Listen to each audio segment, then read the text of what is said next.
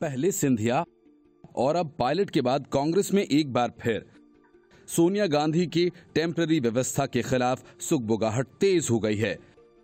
संदीप दीक्षित का कहना है कि पार्टी में असमंजस की स्थिति पैदा हो गई है। अगर इस समय पार्टी को पूर्णकालिक अध्यक्ष नहीं मिलता है तो बहुत देर हो जाएगी। उन्होंने कहा कि सीडब्ल्यूसी को प्राथमिकता के आधार पर पहले ही पार्टी के नेतृत्व के मसले का समाधान कर लेना चाहिए था।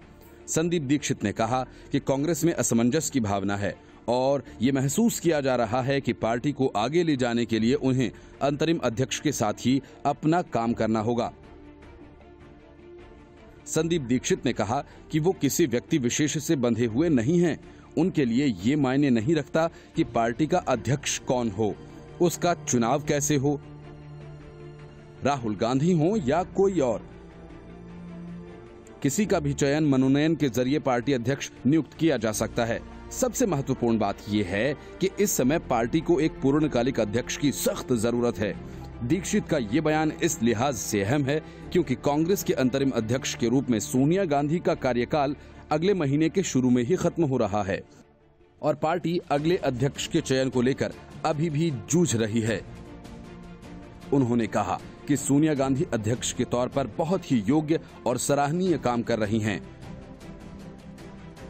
पहले उन्होंने इसलिए पद छोड़ा था कि क्योंकि वो चाहती थी कि राहुल गांधी आगे बढ़ें और अध्यक्ष पद को संभालें और वे पीछे बैठकर काम करें। दीक्षित ने कहा कि अभी अंतरिम व्यवस्था है। अगर आप अंतरिम अध्यक्ष हैं तो कांग्रेस के लिए आप दीर्घकालिक फैसले नहीं ले पाएँगे। इसलिए पूर्णकालिक अध्यक्ष के लिए ये सही समय है। चाहे जो भी हो, उन्होंने कहा, हमें पूर्णकालिक अध्यक्ष चाहिए, चाहे वो मिस्टर ए हो या मिस्टर बी, या मिस्टर गांधी हो, ये कोई मुद्दा नहीं है। पार्टी का निर्माण विचारधारा और सामूहिक नेतृत्व से होता है। दीक्षित ने कहा कि मिस्टर गांधी ने स्पष्ट तौर पर कह दिया था कि वे दोबारा पार्टी अध्यक्ष नहीं बनने वाले। फिर पार्टी के वरिष्ठ नेता कहाँ चक्कर लगाते रहे? कोई फैसला क्यों नहीं लिया? उन्होंने कहा कि वरिष्ठ नेता के नेतृत्व के मसले को सुलझाने में पूरी तरह से नाकाम रहे। दिल्ली की तीन बार मुख्यमंत्री रही शीला दीक्षित के पुत्र संदीप दीक्षित ने कहा कि सिंधिया के चुनाव हारने के बावजूद पार्टी ने उन्हें प्रदेश अध्यक्ष बनाने और राज्यसभा भेजने का प्रस्ताव किया था। लेकिन उन्होंने कोई जवाब नहीं दिया।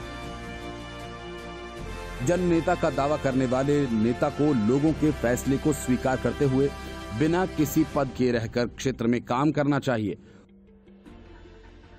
और दोबारा अपनी सीट पर जीत हासिल करनी चाहिए। मौजूदा वक्त में कांग्रेस के बीच से ही नेताओं के अलग अलग बयान सामने आ रहे हैं। अभी हाल ही में मार्गरेट आल्वा ने ये कहा था कि राहुल गांधी को युवाओं की टीम बनाने का मौका दिया जाना चाहिए।